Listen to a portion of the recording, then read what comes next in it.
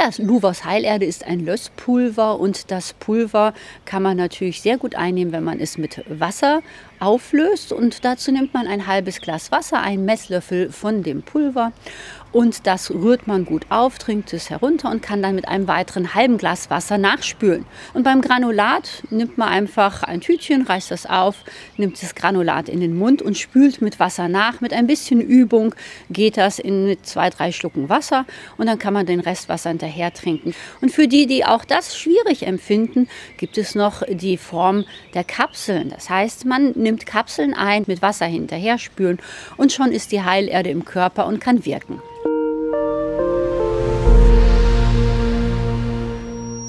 Was wichtig ist, die Heilerde hat ja keine höhere Intelligenz. Heilerde wirkt im Körper, indem sie Substanzen bindet.